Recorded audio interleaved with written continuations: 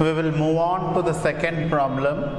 In the second problem, it is similar to that of first problem because you are asked again to find out the cash book balance. Now, I just read out it says that Murthy and Sons passbook showed a balance of rupees 21700 that means you are again given passbook balance. That means this person or this businessman has in his bank 21700 but this is according to his banker. So we have to find out according to this man that is Murthy and Murthy how much he should have in bank. That is what is cash book balance now you are asked to prepare BRS on 30th September 2013 so that's why we have written bank reconciliation statement as on 30 9 2013 now first thing we have written balance as per passbook. Since it is a favorable balance, we would be writing it in this plus column. So 21,700 in plus column. Now since passbook balance is given, cash book balance will be our target. Now this format I have again made empty for our convenience. Now we, you can refer this and put your each statement in this to check whether the target balance that is cash book balance is increasing or decreasing because of it. Now statement A states that checks issued. Now immediately look into the format and see where you find the word check issued it is on the credit side of cash book. So checks issued but not presented for payment 2500 so checks issued not presented for payment 2000 i am entering on the credit side of cash book not presented for payment means what you gave check to your someone that person did not go and take the money from the bank. So naturally when that person did not take money from the bank, bank will not do anything with what you have done in cash book as an entry. So now let us find the impact. As a result of 2500 being entered on the payment side, the cash book balance should come down now we are finding out cash book only. So the balance should come down means we should put the arrow down, right 2500 here. Now balance coming down means we should minus, you know that. So here just write the same statement. I am not writing the entire statement. You can write the same statement as check issued but not yet presented for payment. Since it has to be deducted, I am entering 2500 in the minus column.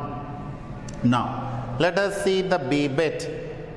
Directly deposited by a customer 3000. Direct deposit by customer means your customer is directly putting money in your bank account. Since he goes directly to bank, banker will know at first. So when banker knows first the entry will be first in the passbook.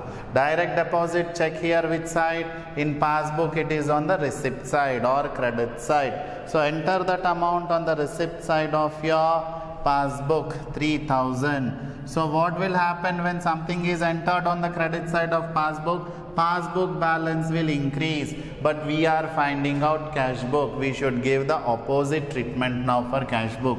So cash book balance will decrease. How much it will decrease by 3000. Again you know decrease means minus means this 3000 should be placed or put in the deduct that is minus column. So same statement you write checks deposited directly by customer. So 3500 in the minus column. Now moving on to the next column that is if you see here it uh, the C says that interest credited by bank bank is crediting the interest. As a result the entry will be made by bank. So bank makes entry into which book? Into passbook. Interest credited means interest is entered on the credit side.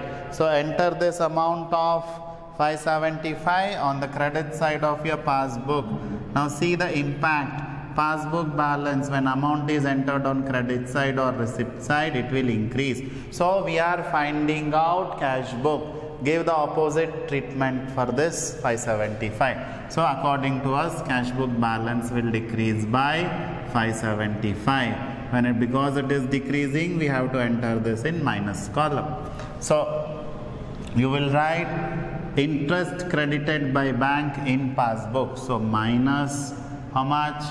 575 now the next debit checks deposited in bank but not credited rupees 3500 checks deposited. Who? It is not stated. Then it is by you. So when you are depositing check in a bank you know about it. So the entry will be made in the cash book.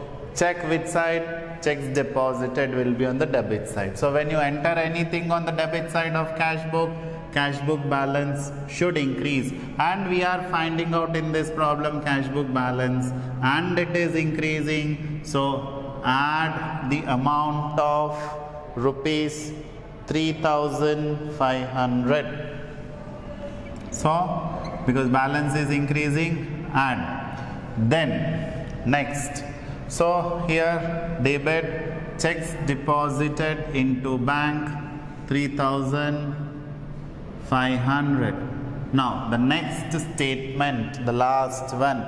Bank charges 150 bank charges 150 now bank charges look into the formats where you find it is nothing but service charges. So let us enter this amount on the debit side of passbook 150 so when you enter on the debit side of passbook passbook balance will come down. Passbook balance will come down what is our target? Cash book. So opposite will be the effect on cash book. So if passbook balance is coming down we say cash book balance will go up. So how much?